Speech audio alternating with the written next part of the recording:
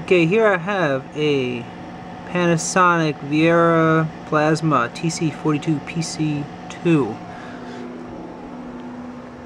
and I got the seven blinking lights of death. Turn it on, red LED.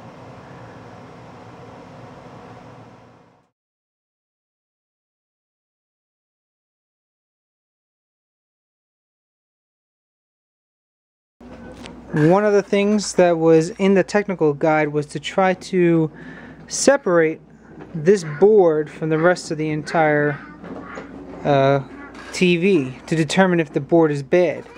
And it said that if I disconnect the SC, the SU, and the SD, and it gave me six blinking lights,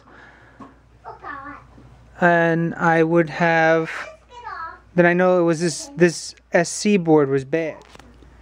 So one of the steps they told me to do in one of the other technical guides was to disconnect the SC board with the SU and the SD to determine if in fact that was the problem.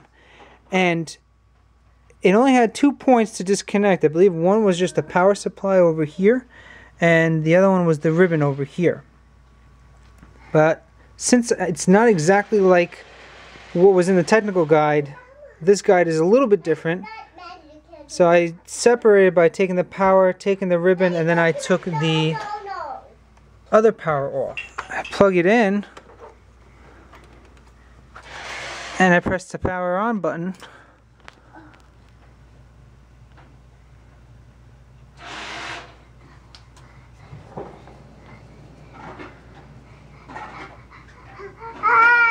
Six blinking lights.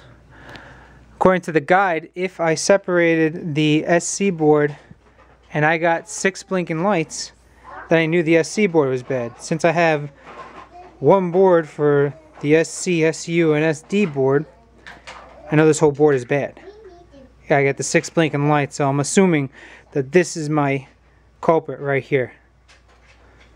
And when I get a replacement, and we put it back in I'll maybe hopefully show you that I was right. And hopefully this will help somebody else. Here's my setup. This is the new board. A few differences I noticed. One being the clamp over here. The color of this uh, heat sink it seems like over here. And that's it. Everything else fit perfectly right where it should. No other problems. Here comes the test come back down, push on the power, wait a few seconds, stays on.